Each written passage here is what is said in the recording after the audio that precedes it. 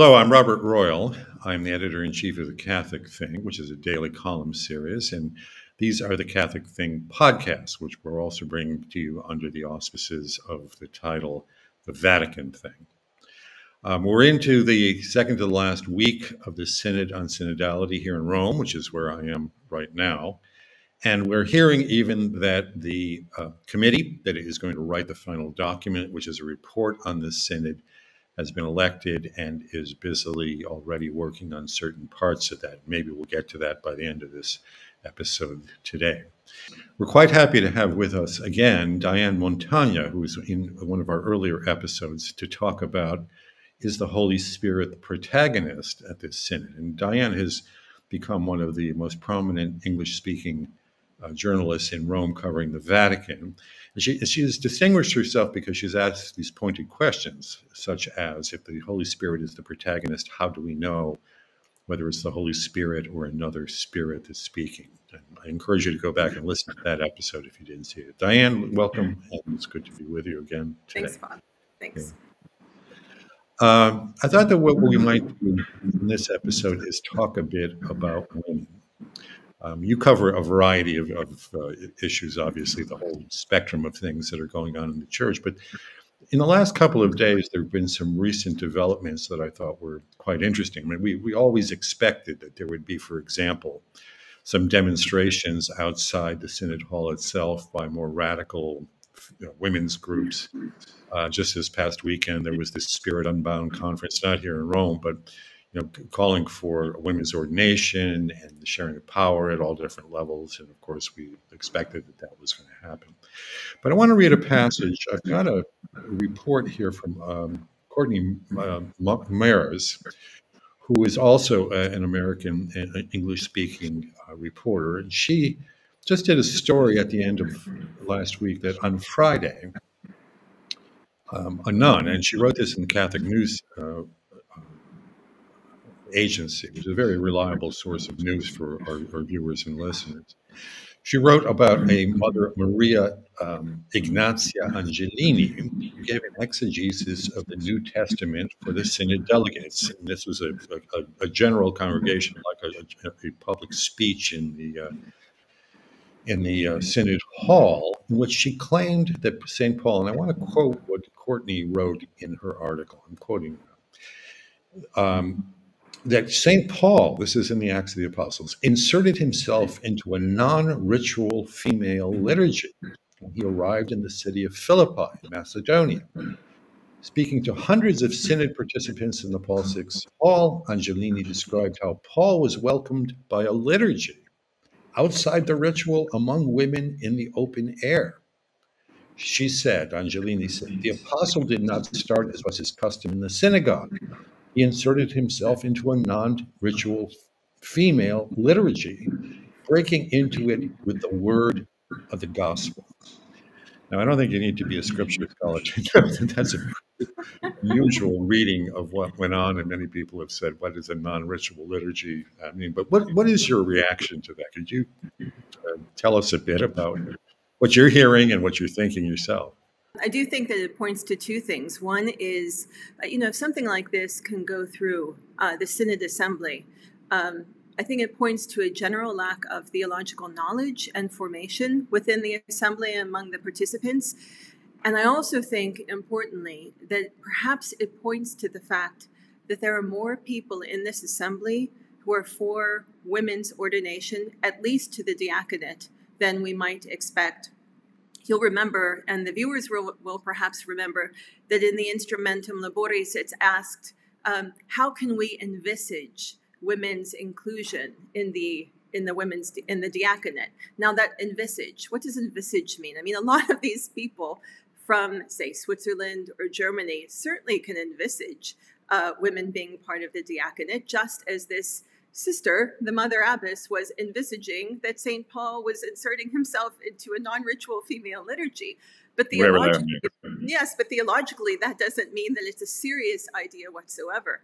Interesting, right. I'll say it here for the first time. I was uh, speaking to someone last week.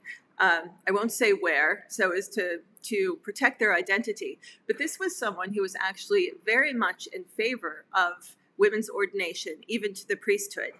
And they told me that within the Synod Assembly, this is someone who's very connected within the Synod Assembly, they said that this is not just uh, something coming from Northern Europe. I think we, the German bishops are in there, some of whom participated in the synod- synodal way, like Bishop Bätzing, Overbeck. They are certainly for women's ordination. Or we might think of Helena Jeppesen-Spuhler from Switzerland. She's a laywoman who was chosen to present the Instrumentum Laboris and is very much in favor of women's ordination. This so- source told me that, uh, surprisingly, there are three African bishops who are in favor of women's mm-hmm. ordination to the diaconate. There's one Eastern Europe, just one Eastern European bishop who would be open to it. There are several Latin American and Asian bishops, and they did comment that in terms of the United States, um, Cardinal McElroy and especially Cardinal, Cardinal Wilton Gregory are open to the idea of admitting women to the diaconate. Right. Yeah, I think it's a surprise that, that uh, all those figures and, and there, there, seems to be so much um, enthusiasm for these more progressive views inside the room than I would have anticipated myself. Look, at the same time, as we know, um, actually, you brought this to my attention. There's been a, a statement by, I think, signed by almost 20, I think over 2,200 mm-hmm. women of a kind of a more traditional orientation, at the same time looking for ways in which women can make their contribution to the church. Um, that statement came out recently and um, I think has received far less attention than the kinds of things we, we were just talking about. Could you tell uh, our viewers and listeners a bit about that statement as well? Yes. So this was a statement that was developed by it's a women's movement. It's based in Denver, Colorado. They're called Restored Tradition. Um, most of the women do go to the traditional liturgy, though this statement, it's really important to say, the statement is very much a statement that is meant to unite women who go, whether it's to the new Mass or to the Old Mass, but simply hold to and believe everything that the Catholic Church teaches.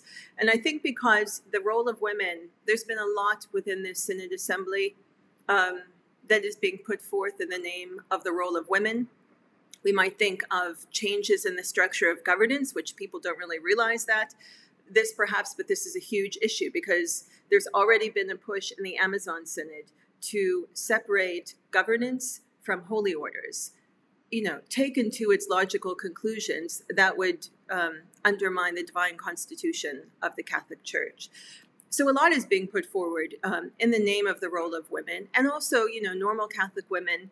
Uh, their voices often aren't aren't heard. And so these women wanted to make a, a short, brief, strong statement, respectful statement, particularly addressed to the bishops who will be participating in the synod.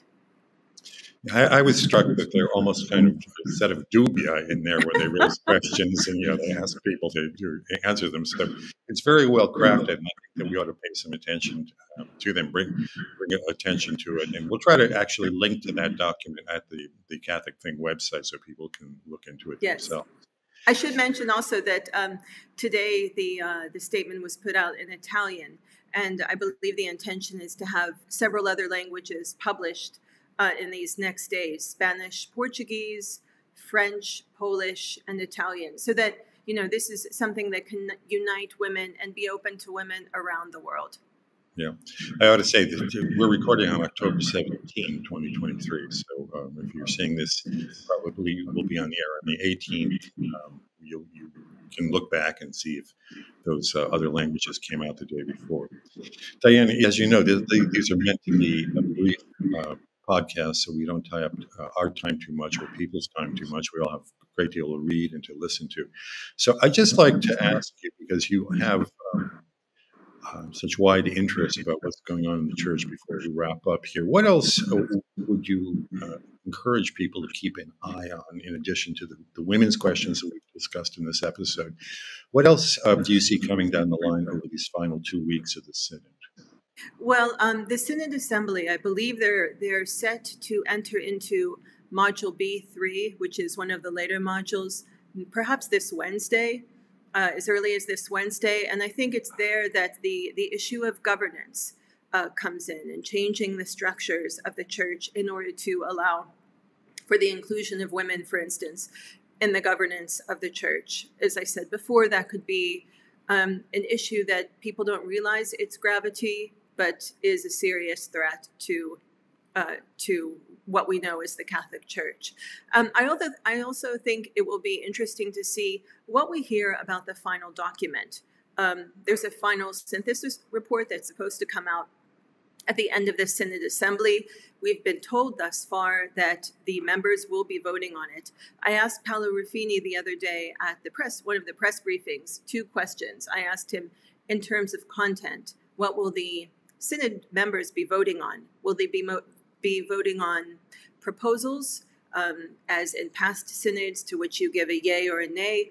Or, as it's been suggested in reports earlier on, um, a few weeks ago, that they might be voting on simply whether this synthesis report is an accurate reflection of the conversation had over these these uh, past weeks. Now, of course, if the latter is the case, then that would automatically push this document through to the next Synod Assembly without giving a real possibility for any uh, differing opinions.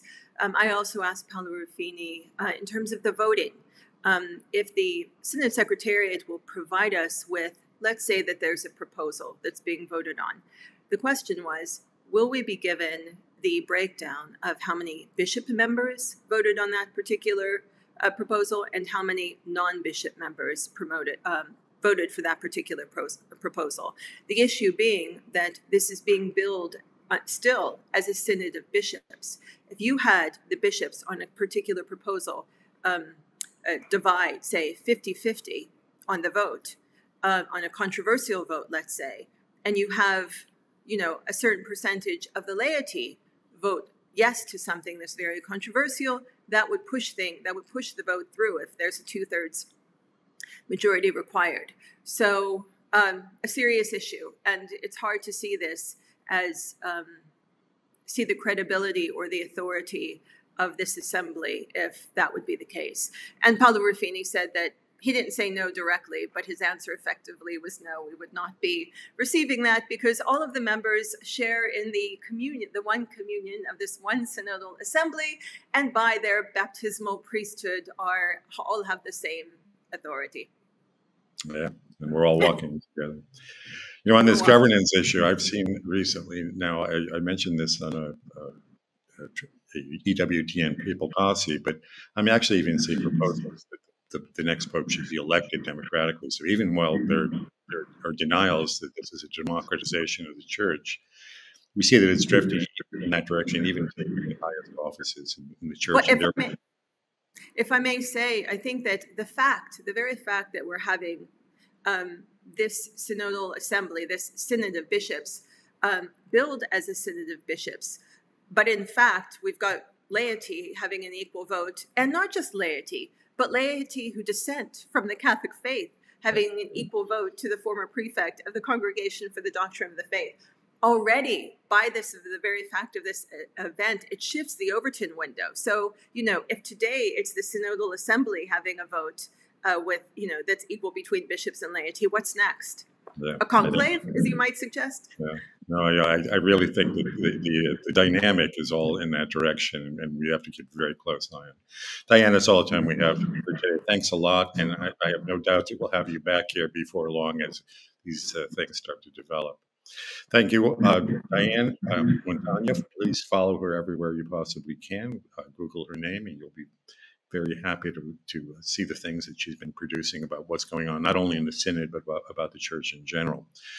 Um, and thank you all of you for watching and listening to this podcast, and we'll see you again next time.